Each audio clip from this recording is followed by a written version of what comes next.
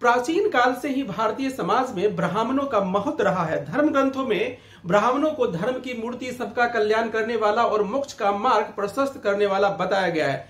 ब्राह्मण सदैव समाज का पथ प्रदर्शक रहा है, इसलिए हर युग में ब्राह्मणों का सम्मान किया गया लेकिन ब्राह्मणों की आलोचना करने वालों की संख्या भी कम नहीं है। भारतीय समाज का एक वक्त ब्राह्मणों पर ढोंगी होने का आरोप लगाता रहा है।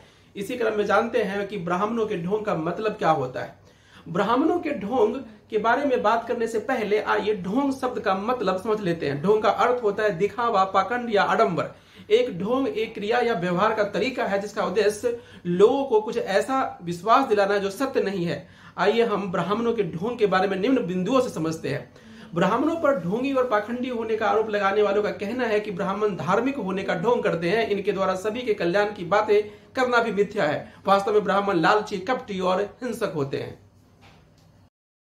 ब्राह्मण विनम्रता का झूठा दिखावा करते हैं, लेकिन वास्तव में शोषक हैं जो केवल अपने लाभ की प्रवाह करते हैं। बहुत से लोग भारतीय समाज में ब्राह्मणों के वर्चस्व को जातिवाद से जोड़ते हैं। ब्राह्मणों को पाखंडी मानने वालों का कहना है कि भारत में जाति व्यवस्था की उत्पत्ति और विकास ब्राह्मणों ने ही किया है। ब्राह्मणों ने चतुराई से जाति व्यवस्था का निर्माण किया ताकि समाज में उनका वर्चस्व बना रहे।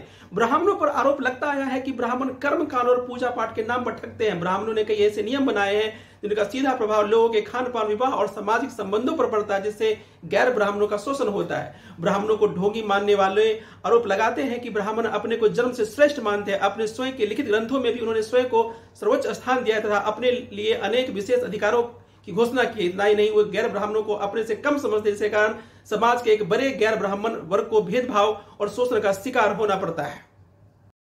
ब्राह्मण विरोधियों का कहना है कि ब्राह्मण अपने पाखंड और ढंग से समाज में अंधविश्वास को बढ़ावा देते हैं। अंधविश्वास समाज में कुरुतियों को जन्म देता है तथा इसे समाज में पिछड़ा बनाता है। ब्राह्मणों के आलोचक श्राद्ध मृत्यु भोज पिंडदान समेत हिंदू धर्म के कई क्रम कांडों को कृति के रूप में देखते हैं, उनके अनुसार रीति रिवाज ब्राह्मणों ने अपने फ़ायदे के लिए बनाया है।